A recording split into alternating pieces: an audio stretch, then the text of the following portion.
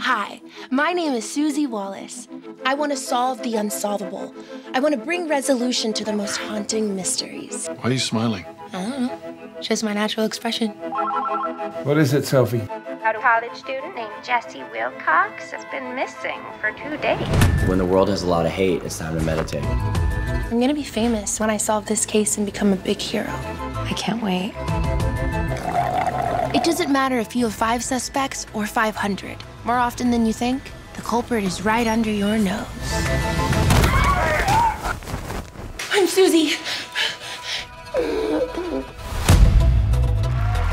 Susie, Ohio's own Nancy Drew.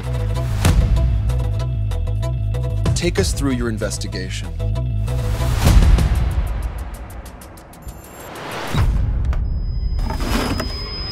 I remember learning about heroes in school, but I never thought I'd be sitting next to one.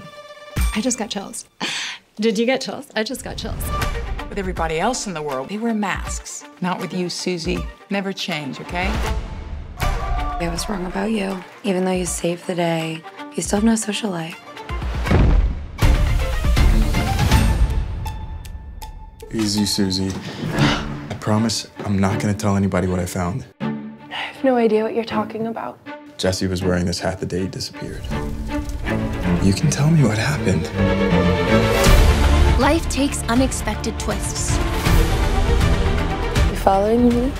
They found more DNA evidence. Really? You can be the best criminal in the world, but you cannot outrun science. A new tragedy has struck. Even the most perfect plans don't always work out. You're my prime suspect. And my guy's following you for weeks. But eventually, a solution will present itself.